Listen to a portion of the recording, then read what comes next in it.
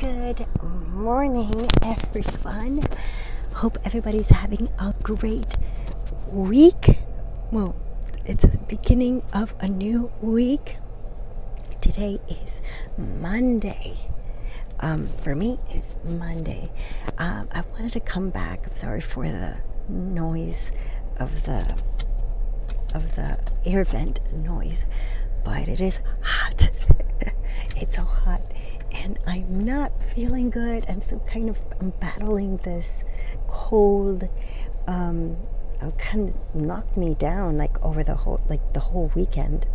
Um, but I wanted to just jump back into this and and do this not only for you guys, but um, be able to get back in tune with with God and the Bible. And I've been so busy trying to um, do things on my own, and I was missing the key ingredient. The key ingredient is this. You know, we need to read this daily just to be, um, stay in tune, stay, stay in check, in line with what God wants from us. All right, so let's get started.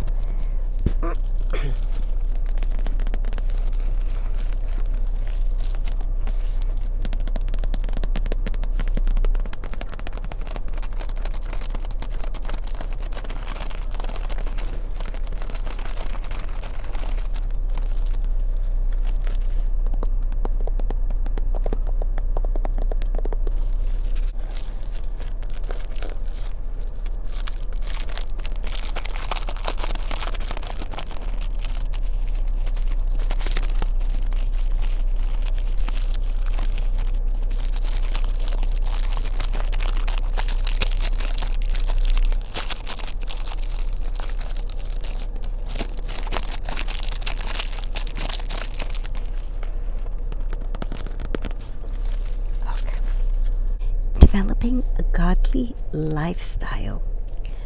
Read Romans 12 2.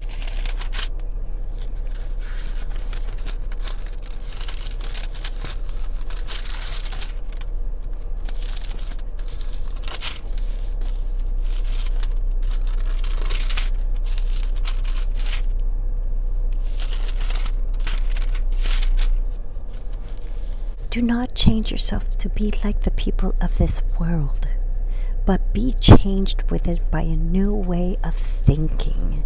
Today's verse outlines the commitment and steps necessary in developing a godly lifestyle.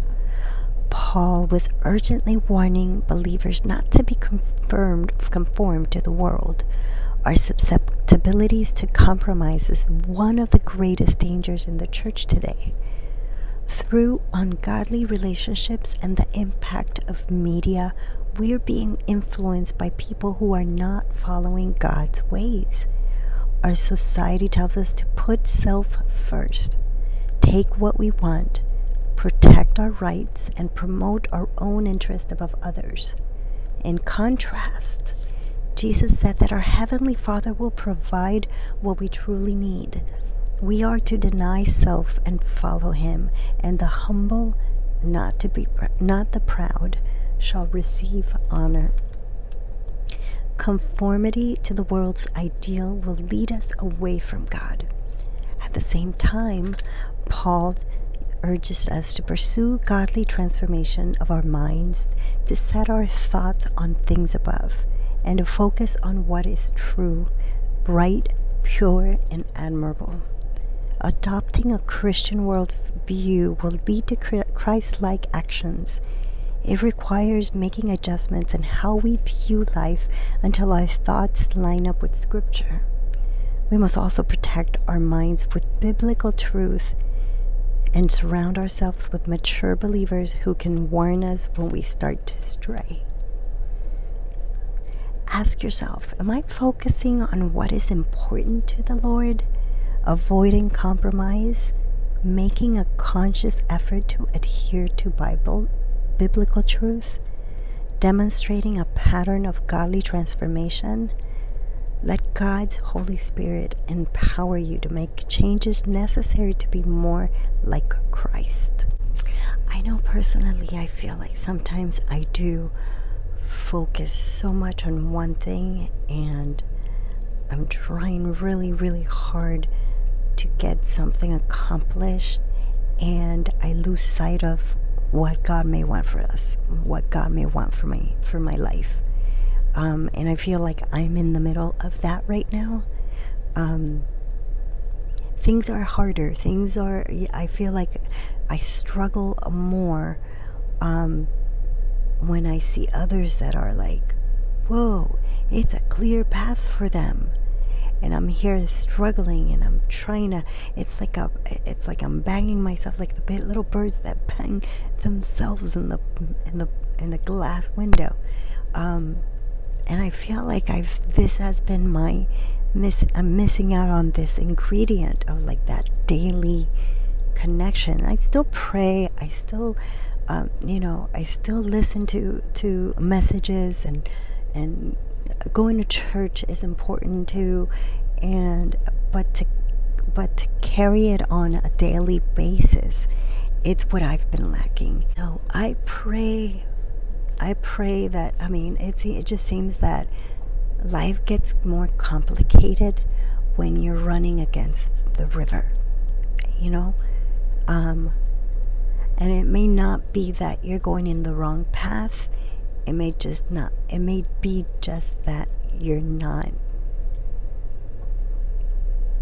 putting God first. I pray that you guys um, will get something out of this. I know that um, the last few uh, um, devotionals that I've read are definitely been more for me. Um, I do need to get more involved, more, uh, make more time for for God, make more time to be serious and see where God wants to lead me in my path, like what path to take or how to take uh, a specific path. Um, there's many times where I feel like it's it, like I'm stuck. I'm, I feel stuck, and um, I, I need more prayer. I need I need to make time to pray more, ask more, and listen like stop and listen to what he has what he wants to share what he wants for me. Um, so i pray that you guys um, can stay in tune as well and uh, realize that when you start kind of the more you're away from God, the more you're away from the scripture, from from pretty much his his guideline, um, that's when things got start getting like a little bit even more uh, unclear on what direction to take, what what steps to take. Um, I know God that wants He wants the best for us. I believe that that He wants the best for us, and it's our job to put in the effort to make that relationship, to strengthen that relationship with Him. And once that is developed, one is that strength, you know, you have that relationship, uh, a strong relationship, things are a little bit more clear. And I feel like throughout our lives, we do go up and down. We do we we have some highs and we have some lows. Um, and it's so good to know that God is there no matter what. When when we're high, He's there to say, "Hey, welcome back," and then when we're low, He's there, kind of, "Hey, come back, come back, come back, come back." So um, I do pray that you guys can stay, hang on, hang on to His relate that relationship. It's sometimes hard to to or easy to forget or not for easy to forget but easy to um, let other things kind of distract you from his path.